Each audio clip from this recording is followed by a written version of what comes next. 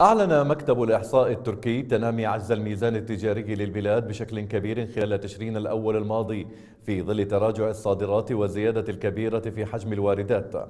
وارتفع عجز الميزان التجاري بما يقارب أربعة أضعاف وأشار موقع متخصص بالشأن التركي إلى أن الصادرات التركية ومع احتساب المتغيرات الموسمية وعدد أيام العمل انخفضت بنسبة خمسة أعشار في المئة بينما ارتفعت الواردات بنسبة ثلاثة وستة أعشار في المئة في الشهر الماضي مقارنة بالشهر السابق عليه.